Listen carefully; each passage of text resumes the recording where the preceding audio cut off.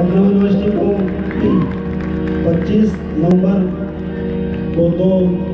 पच्चीस नवंबर दो हज़ार बीस को सौ साल पूरे हो जाएंगे इसलिए मैं शुभ अवसर पर चाह रहा हूँ कि एक छोटा सा सोहर मैं आप लोगों को सुना दूँ